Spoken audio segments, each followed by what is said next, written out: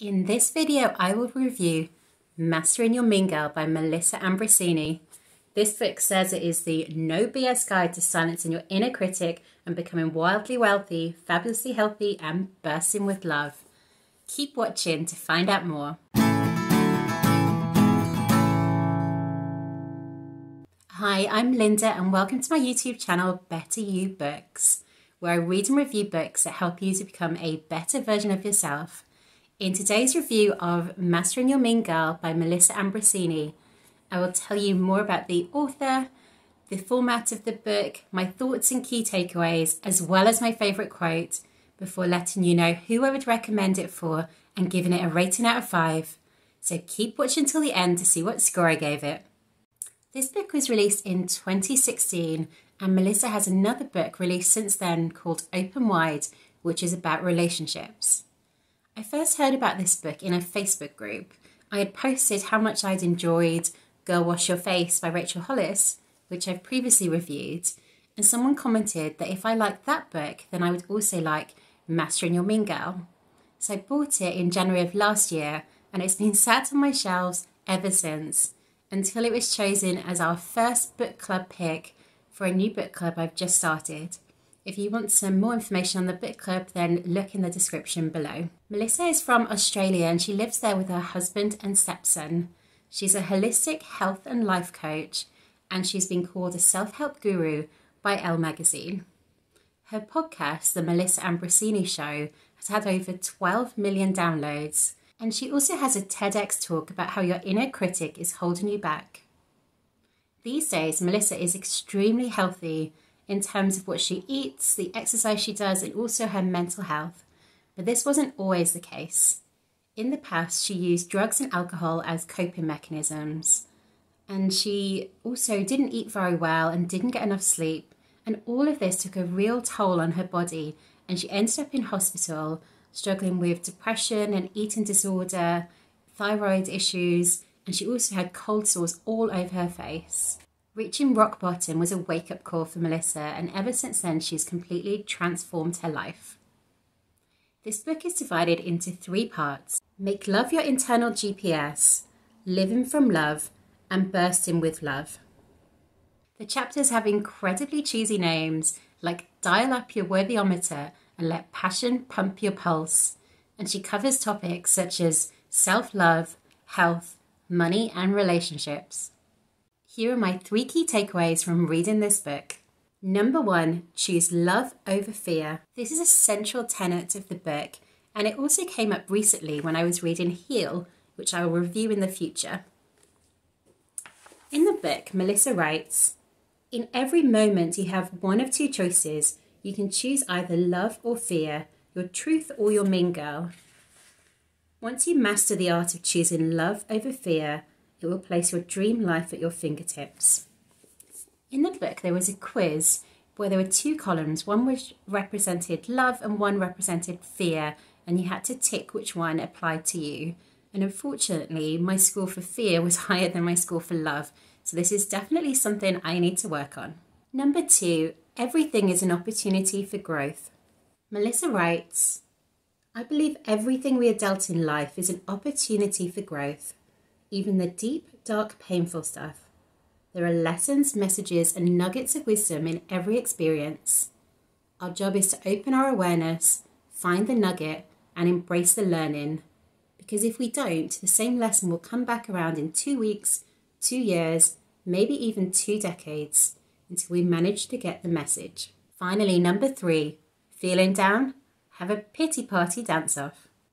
Melissa says that when she used to feel sad or angry or frustrated, she used to suppress these emotions, which is what I used to do too. But now she's come up with this new technique called the pity party dance off. I haven't tried it yet, but I think it sounds pretty good. So next time I'm feeling this way, then I'm going to check it out. So if you want to know how to do it too, basically, whenever you feel these emotions, you should immediately go and take yourself somewhere quiet. If it's at work, I know it might be a bit difficult, but say you could go to the toilets for a little while. Then when you go in there, set your timer on your phone for 10 to 15 minutes, depending on how severe the emotions are. And then during those 10 to 15 minutes, really feel those emotions and express them however you have to. So that might be crying, it might be punching the air, it might be screaming into a pillow, it might just be breathing deeply. Fully express those emotions for the duration of the timer, and then when the time is up, place your hand over your heart and say to yourself, I love you and you are safe. You can now let this go and move on. Repeat that a few times, and then this is where the fun comes in. Then put on your favorite pump up tune and dance around crazy to it. And if you're not in the toilets at work or you have to be quiet, then also sing as loud as you can. I love quotes, and this is my favourite one from the book. You get what you feel you deserve. I like this as I can struggle with self worth, so it resonated with me. Melissa also does a reframe from saying I'm lucky to saying I'm worthy, which I thought was interesting. I was drawn to this book because I like the title. You might find it a bit cheesy, but I like the idea of calling that annoying voice inside my head my mean girl. The format of the book was really good for me as well. There were lots of exercises scattered throughout. There were some inspirational quotes, and at the end of each chapter, there was a summary. There were, however, a few contracts to sign to make promises to yourself, which I really didn't like, but they might work for some people. Sometimes it felt that Melissa was going a bit off topic when she was talking about things like health and money and so on. But I guess a lot of things can go back to your inner critic. Melissa's very spiritual, so in the book she talks a lot about meditation, manifestation, affirmations, gratitude, and so on. It was hard to relate to Melissa in this book as her life just seems way too perfect. If you look at her Instagram, you'll see what I mean. It's just full of really curated pictures that just scream, I have the perfect life, which is just pretty annoying. Her life also feels quite unattainable. For example, Melissa loves gratitude as do I. But she doesn't just have a daily gratitude practice, she does five different types of gratitude every single day.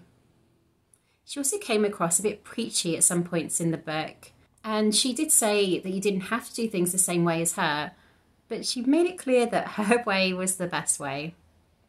I really didn't like the chapter on health because she says that she's all about intuitive eating, but then she listed what felt like a lot of rules to follow. The exercises were where I got the most value from this book. They were not necessarily innovative, but they were things I hadn't done before and they had a profound impact on me. I'll share one of the exercises with you now, but if you want to know about some of the others that I found useful, then drop me a comment below and we can discuss them. So, one of the ones I really enjoyed was about your soul sisters. Again, another cheesy name, but it's basically your 10 closest friends. And you had to write down why they were so important to you, and then send them a message afterwards. So I did this and I sent them all a message telling them why I loved them and why they were so important to me. Cried my eyes out during the process naturally, and it just felt so good. And a lot of them came back saying how much they appreciated it as well and how it had made them cry too. And it was just such a lovely process that I think perhaps being British, then telling people how we feel about them is maybe something we don't do enough. So this was really nice. And then I got up to make a cup of tea and I saw there was a card um, at the letterbox. So I opened it and it was from the CEO of the company that I've recently been made redundant from. And it was a really touching personal card. And it just felt so apt that I just sent out all of these loving thoughts um, into the universe, and then I got some of them back to myself. I didn't hate this book, I just didn't love it either. It wasn't that memorable, and Melissa just isn't that relatable, really, as she just seems way too perfect. So I'm giving this book three and a half stars. The book is probably worth three stars, but I got so much out of some of the exercises that that has bumped the score up a little bit. This book is definitely aimed at women I would recommend it to those who are already fans of Melissa and also people who want an introduction to how to manage your inner critic. What do you think? Does this book sound like something you might be interested in reading for yourself? If so, then please drop me a comment below. I've added more information on Melissa and the book in the description. If you prefer listening to books rather than reading them, Melissa narrates the book herself for Audible. If you like the concept of this book but don't want to read an entire book on it, then I would recommend Melissa's TEDx talk. In fact, it's worth a watch even if you have read the book. In my next video, I will be reviewing Designing Your Life by Bill Burnett and Dave Evans. This is a step by step guide to how to design your perfect career. Thank you so much for watching. If you enjoyed this video, then please click subscribe and hit the notification bell so that you're the first to know about my future videos. Also, if you haven't already, then give me a follow on Instagram. I'm at Better You Books and I post book inspiration and motivational quotes. Have a fantastic week and I look forward to seeing you next time.